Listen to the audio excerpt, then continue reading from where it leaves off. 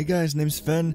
I came down with a cold just five minutes ago, and I'm not even going to attempt to make any videos while this is the case because last time I tried that it was very miserable and unpleasant and like kind of a bad idea. So, soon as it goes, I'll come back to making videos, but until then, just wanted to let you know that's what the gap is going to be for. There is a Riven video scheduled for tomorrow that was recorded beforehand, but after that, uh, no more videos until I'm well again because it's just gonna hurt. So, uh, thanks for understanding, and uh, see you when I see you.